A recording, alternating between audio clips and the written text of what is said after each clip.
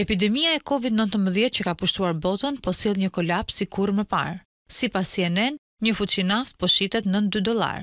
Nafta është aq e lirë sa prodhuesit duket se po u paguajnë rezervave për të hequr fuçitë nga duart e tyre, duke ulur kështu çmimin e naftës me nëntëdhjetë për qind. Shkaku kryesor i rënies së çmimit është frika se pandemia do zgjasë shumë. Një fuçi naftë është e barabartë me njëqind e gjashtëdhjetë e nëntë litra, e cila ka përfunduar në çmim nën dy dollarë, si kurrë më parë.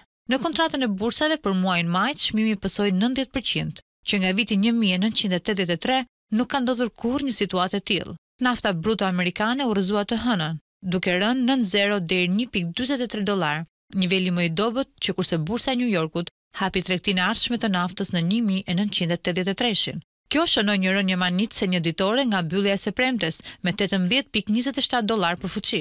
Rënia historike tregon se tregu nuk po reagon nga shkurtimet e prodhimit të OPEC Plus, të njoftuara në fillim të këtij muaji, që nuk janë të mjaftueshme për të kompensuar kërkesën e pashembullt të shkaktuar nga pandemia.